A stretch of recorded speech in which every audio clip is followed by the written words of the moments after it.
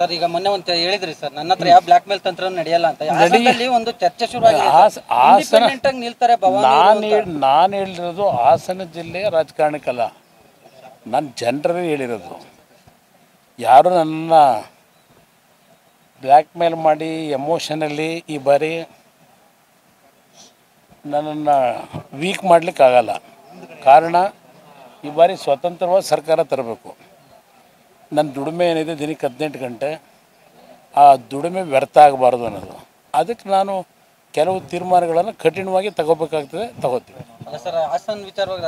ಹಾಸನದು ಸುಗಮವಾಗಿ ಏನು ಏನು ಚರ್ಚೆ ಇಲ್ಲ ಸುಗಮವಾಗಿ ಆಗಿದೆ.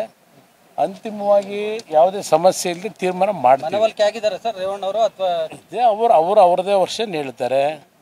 ಅಲ್ಲಿರ್ತಕ್ಕಂಥ ಗ್ರೌಂಡ್ ರಿಯಾಲಿಟಿ ನಾವು ಹೇಳ್ತಾ ಇದ್ದೇವೆ. ದೇವೇಗೌಡರು ಅವ್ರಿಗೆ ಅನುಭವ ಏನಿದೆ ಅದೇ ಹೇಳ್ತಾರೆ. ಅದ್ಮೇಲೆ ಎಲ್ಲ ಕೂತು ಸುಗಮ ತೀರ್ಮಾನ ಮಾಡ್ತೀವಿ